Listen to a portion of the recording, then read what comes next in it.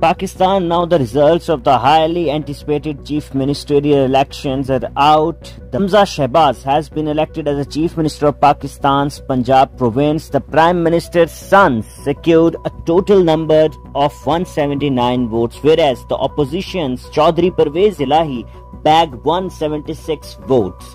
The results were declared after a high voltage drama which played out during the vote count. A total number of 186 votes were cast in favor of Pervez Elahi, but at the last minute, the deputy speaker refused to count the 10 votes cast by the Muslim League member.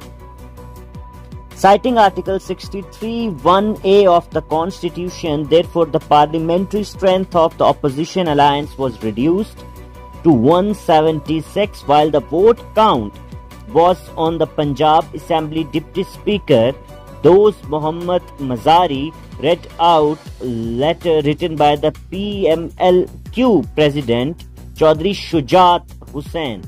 In the letter, he had requested the members of his party to vote for Hamza Shehbaz Sharif.